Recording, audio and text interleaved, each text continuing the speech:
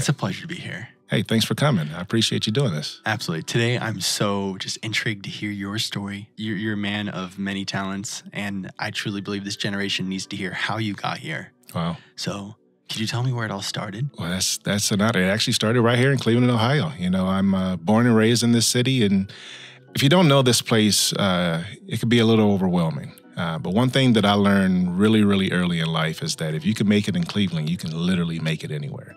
Um, I learned that the hard way. Uh, I learned that Cleveland really needed uh, a little more exposure to the rest of the world. And I say that because I wasn't getting a lot of exposure outside of Cleveland while I was here. Um, and what Cleveland shows you is how hard it is to survive in America. Um, and that becomes a bit of a challenge until you see that there are alternative ways to survival besides the blue collar life we were told we're going to live and uh, struggling on the streets and fighting and clawing for every dollar and competing against your next door neighbor for any and every opportunity that comes your way.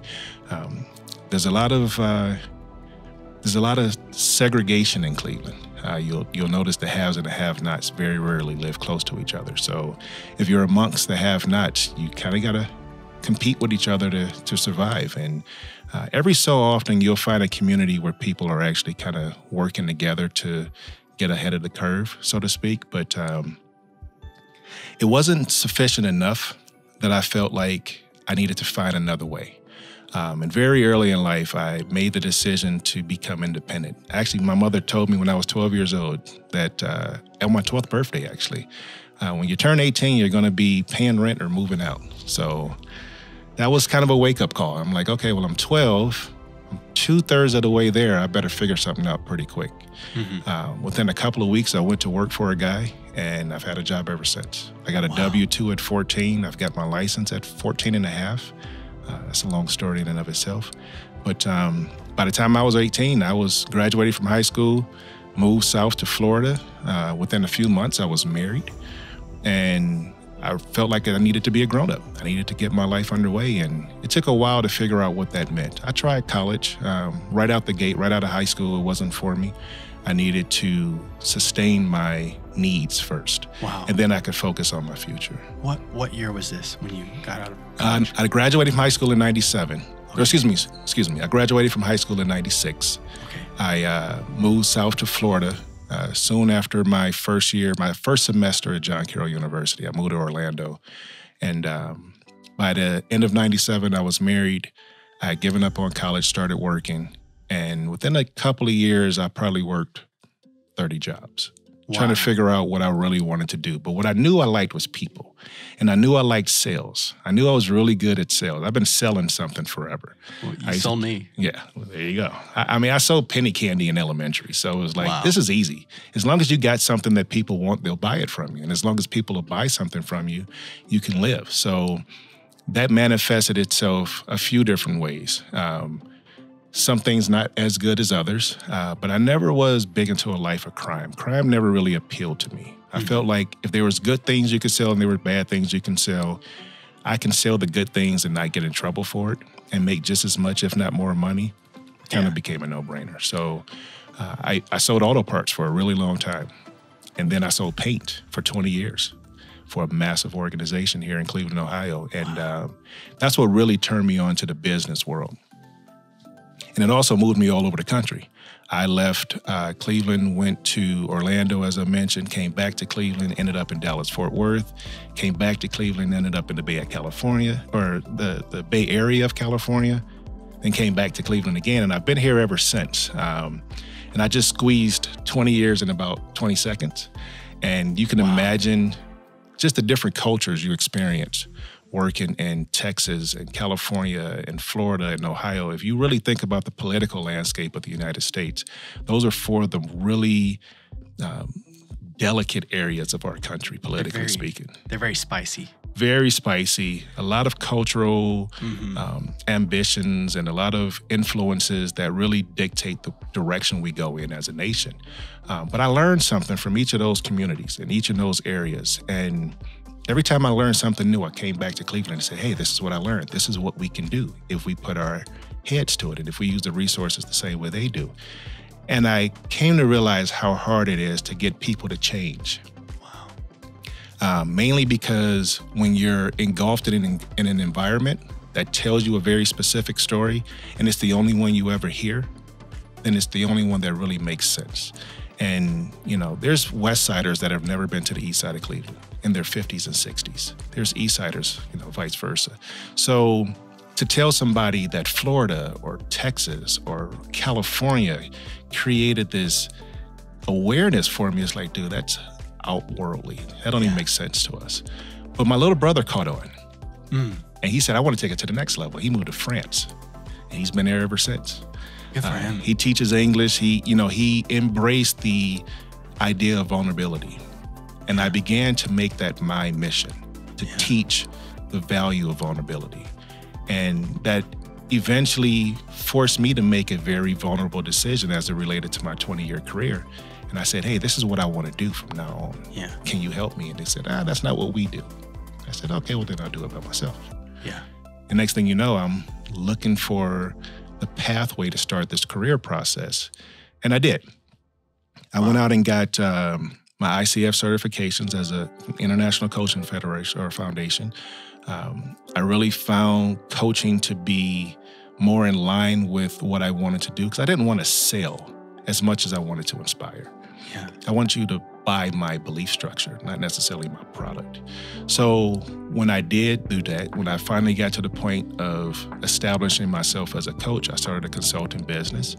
Uh, I was really looking to help family and friends first. And one of my closest friends said, Hey, I'd really like to get this studio out my basement. I said, Cool, let's go start a studio. He was like, Fine, but I don't know what that looks like. I'm like, Me neither. Let's figure it out together.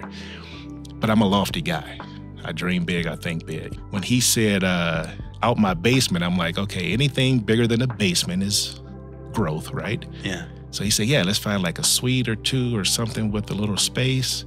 And I'm looking and looking and nothing really fit. And then this massive 6,000 square foot, one of a kind facility just kept popping up on my radar. And I'm like, that's way too expensive. I can't do that but I got to make this phone call. You know, we, we have a faith within us, right? Mm-hmm. Things don't happen for no reason. So I called the guy. I said, "Look, you got a lot of space over there. What are you doing with it?" He said, "I'm trying to get rid of it because everybody that I've tried to make it available to wants to use it in a space other than what it's built for." Mm-hmm. I said, "Well, I want a studio." He said, "You can have it. You tell me what you can afford, and I'll make it available to you."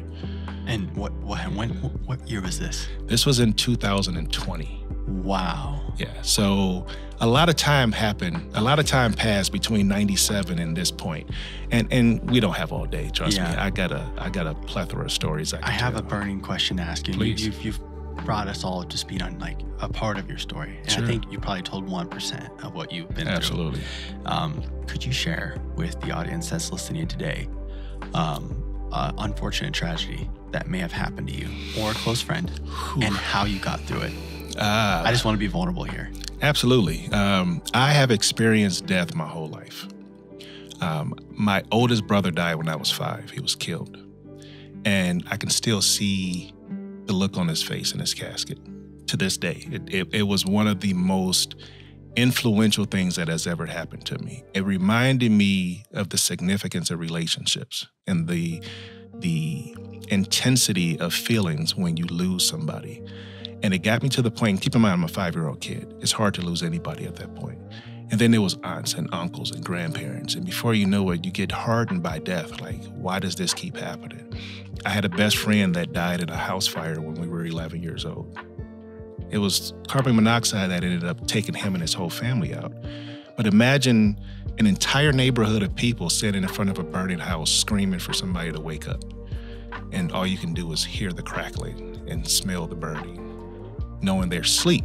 You don't know that as a 10, 11 year old kid, but ultimately you could have learned their sleep, They didn't feel it, it didn't happen that way, but you know that they were unrecoverable. Um, I had a my second best friend. We're 15 years old, ninth graders, committed suicide. Um, mm. He talked to me for four hours before he actually went home that night and did it and it was it was the most abnormal conversation. We were sitting in our high school lunchroom, and the assistant principal came through, saw us sitting there, for four hours, never said a word. She literally didn't tell us to go to class, nothing. She knew that this was a troubled kid and she knew I wasn't. So she allowed me to communicate with him. And he never said what he was going to do. Um, but I knew he was going to do something. Mm-hmm. And all I could do was bring it to her attention after the conversation. She was like, What was going on? I was like, I don't know, but whatever it was, it ain't good. But he was in trouble for something, and he had made the conscious decision to just accept that he did something wrong and he was going to get in trouble for it. But his cousin, who was with him when it happened, uh, basically told me when he went home, you know, something else happened. He was basically told that he couldn't do something that he was led to believe that he could. And it was like the straw that broke the camel's back. He showed up at the house, was like, You want to see something crazy? And he put a gun in his head and pulled the trigger. And I had to deal with that conversation. Um, my father passed. You know, I it was one of the main reasons I came home from California. He had been struggling with kidney failure forever. And I had a son in California, and he didn't really know his father, his grandfather. And the fact of the matter is, I didn't really know him either. Because after my oldest brother died, he detached himself from the entire family. So there was a lot of burning questions that I needed answered before he was gone. And I wanted him to see that I was going to be the father that I needed him to be. And we came, and there was real, there was a lot of animosity at the time. But through that conversation that he had with me, my brother as well, my brother came into town for this conversation because we knew this might be the last one we have with him. And it was hours. We sat and talked to him, me, my brother, with my son running around. And we got a lot of clarity. And there was a lot of things that didn't make sense to me. But at this point, I had been married and divorced and remarried. And I came to understand the significance of some of the things that he had dealt with. So I was more, I was more understanding of his situation. My little brother still struggled with it a bit at the time, but now, you know, this is 12 years later, wow. he gets it. Um, wow. So being through all that, you you've made it here. Yeah. You you do inspire people. When I met you a month ago, you, you were very inspiring, you know, Arthur Grice. You are an inspiring person on this planet. That. And I and you piqued my curiosity because you started such an incredible thing here. Yeah. And I truly believe that we've just seen the beginning of the people that are going to follow you with the the school yeah you have here. Yeah, I hope so. You know, I um. You know, so, like, what's your message of hope as you go into this next season of life? What do you want to be known for? I want to be known as a muse. A muse. A muse. I re- I truly believe a muse is somebody that inspires growth within yourself. It's right. the person that makes you aware of something that you're capable of that you couldn't see for yourself. I, I, thought about it as coaching for a long time because that's what my certification was. And then I really, I realized it was more empowerment than coaching. Mm. Then I got to thinking about it like it's not really either. It's just an awakening. It's just an awareness of something about you that you may not have been able to see in yourself. And I don't necessarily show it to you. I just help you realize that it's there and help you bring it out of yourself. And through that discovery process, you start to rethink well, what else am I capable of? If I'm really that guy now or that girl now, if I can if I can get through that divorce or if I can leave that abusive relationship or if I can make do with this little bit of income or if I can turn this hobby of mine into a monetary career, what else am I capable of? You just showed me how I can do that. You know, I've been I've been, you know, succumb with debt and death and heartache all my life, and I never thought I could find a way out of that. And here you've given me a pathway for that. What else am I capable of? Wow. Let's discover that together. You know what I mean? And sometimes we discover that together. And sometimes I say, I think you're on the right path. If you need me, you know where to find me. But, yeah. you know, be vulnerable. And that's what I want people to do. I want them to feel comfortable being vulnerable expand your circle. If you stay in your circle, it'll never grow. It'll be your comfort zone, but yeah. it's only as big as you make it. Yeah. But if you want to become bigger and better than you are, you have to become uncomfortable. You have to move into uncomfortable spaces, but you don't have to do that by yourself. That's, that's what really I want people to take away from me. That's what you want people to take away from you. And I believe that's what you're becoming known for. I hope so. Yeah. Well, and I, I'm really honored to sit down and do this. Um, I'm sort of just, I'm cutting my teeth with this hearing people's stories. Yeah. And I've done a lot of them in the past, but you know, it's an honor to be here with you.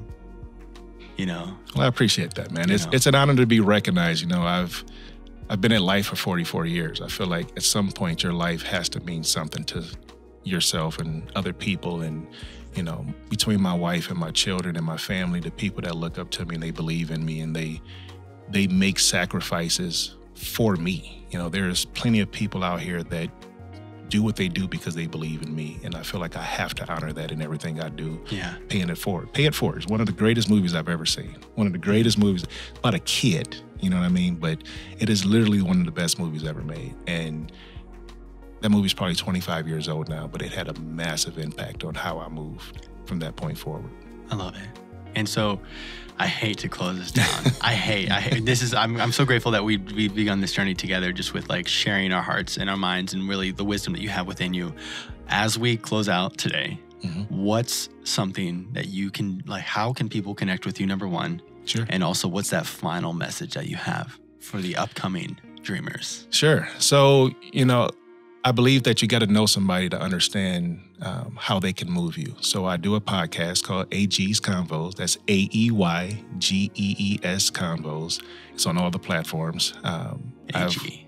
AG, Arthur Grice. Um, I have my social media platforms. I'm A E Y G E E everywhere, including the Facebook page as a podcast page. Um, the corporate website is gricecorp.com, G R I C E C O R P.com. And that'll take you to all of the other elements that I've just referenced. Um, that's probably the easiest way to get a hold of me. Um, and it can also help you understand who I am and kind of the backstory. A lot more stories are told on podcasts than people realize, and they're really good to listen to. Yeah. Um, but my, my takeaway message here is don't undervalue yourself or anybody around you. You know, there is a there's a humility in humanity that I think we get away from when we become associated with social media and things of that nature. Um, but there's there's always a message in a conversation. And you'll find that I'll have a conversation with anybody anywhere because I believe that God put people in front of us. And I know you're a big man of faith and Yes. you know, so am I. Um, I have a different relationship with God than a lot of people um, because we've been through a lot together, God and Yeah. I. And He's got me to this point, so I never question what He's capable of doing for me or with me. I just want to know what He can do through me. yeah. And I just ask that question to everybody that I meet What can I do for you? wow. What can I do? What can He do for you through me? And to me, that's where people really open up. Yeah. So that's my message. Talk to everybody. I really appreciate you. Absolutely. Thank you. Thank you for doing this. I It's a appreciate pleasure, you, man. my friend. Absolutely. God bless you, dude. Till next time. Till next time. And so, everyone, I just want to thank Arthur Grice for coming on and being able to share his wisdom with this younger generation.